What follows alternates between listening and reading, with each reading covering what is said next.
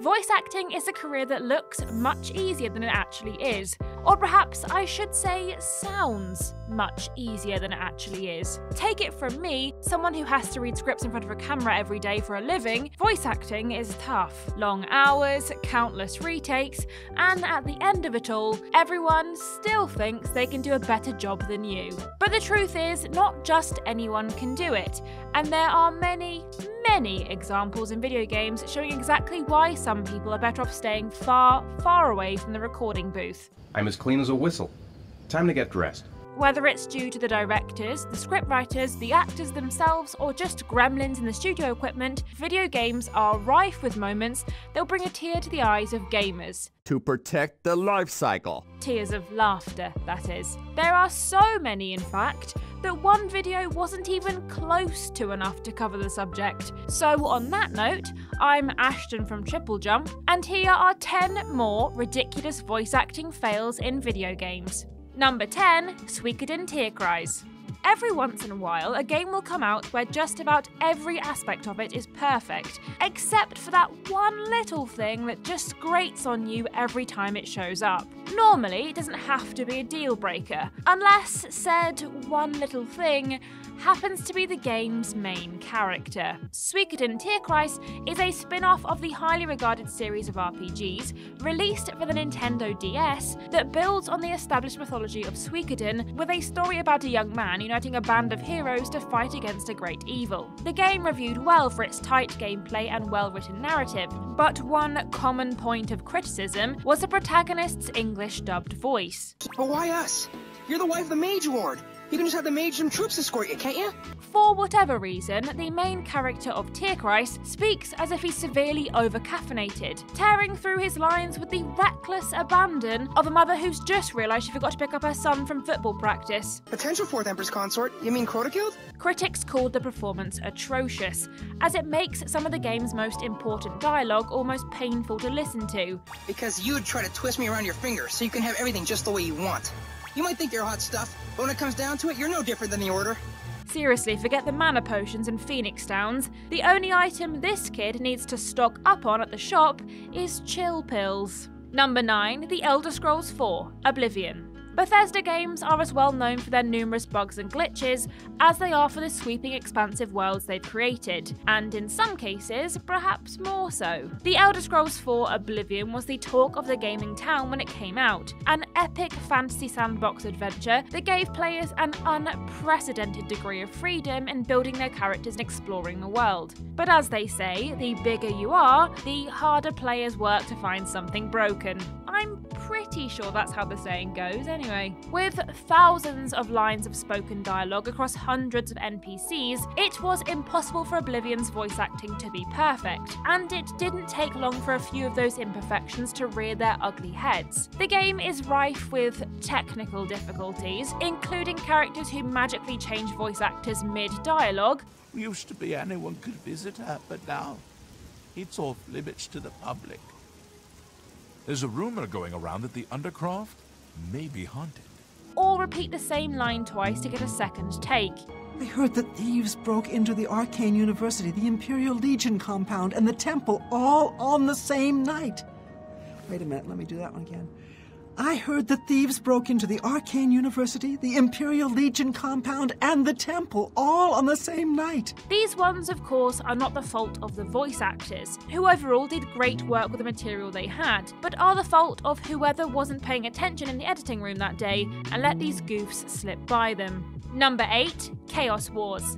Video games are a risky business, and even the most well made product is never guaranteed to be a financial success. With that in mind, it's easy to see why studios would want to cut costs where they can, but some money saving tactics simply aren't worth the trade off. Chaos Wars is actually a crossover between several different companies, featuring characters from franchises including Shadow Hearts, Growlancer, and Gungrave, all dumped into the same world. The game got middling reviews in Japan, so when it came time to release in the West, a part of the world where the franchises were still fairly obscure, the localization team had their work cut out for them. Word of the game spread like wildfire across the internet, not for its quality, but for the absolutely laughable English voice acting that somehow managed to butcher every single line and inflection. I'm the king of Eleuthère. King Tanati.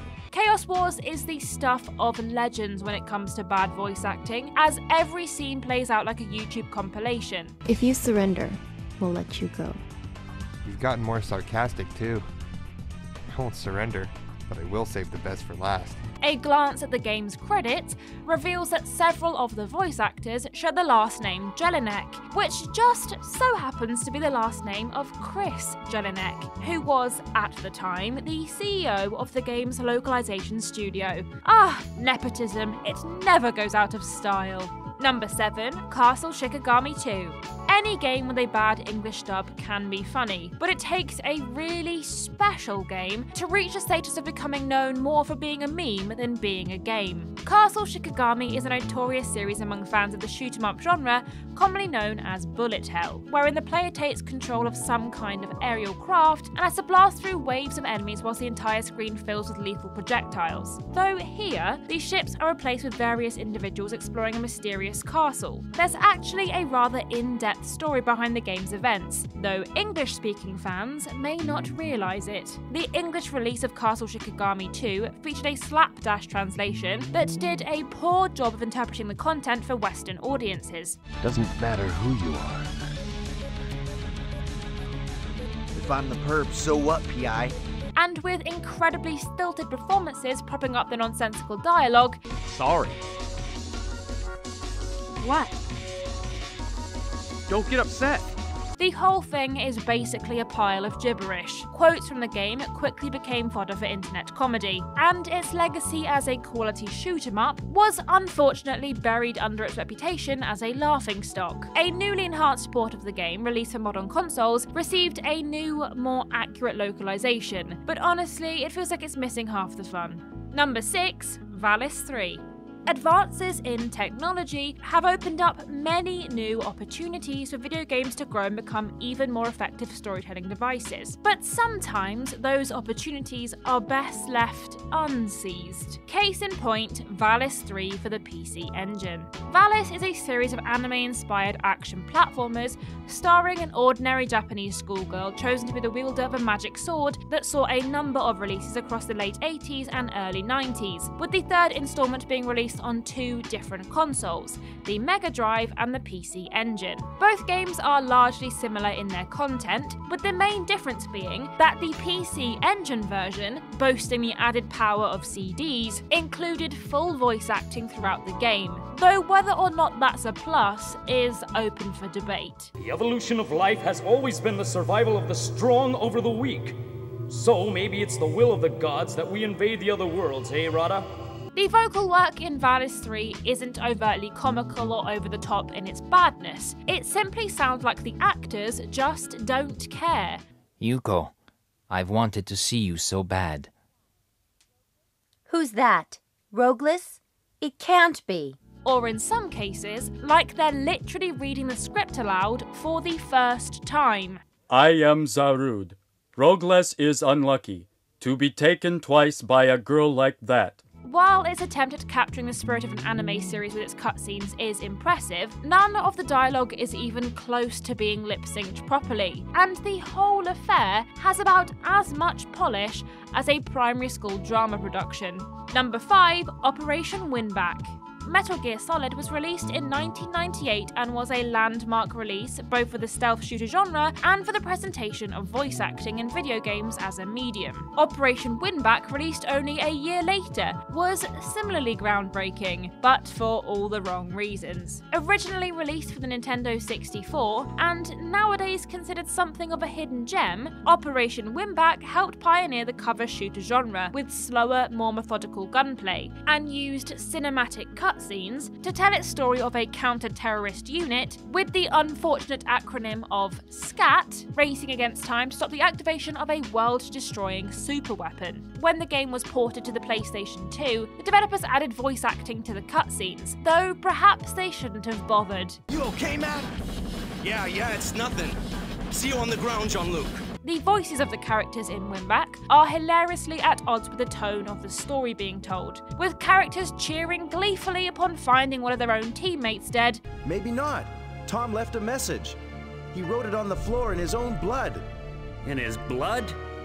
Way to go, kid. Or trying to avert the death of thousands of people with all the emotional intensity of reading a shopping list. I want you to reposition the satellite 180 degrees and fire the thrusters. Sounds easy enough. Reposition 180 degrees and.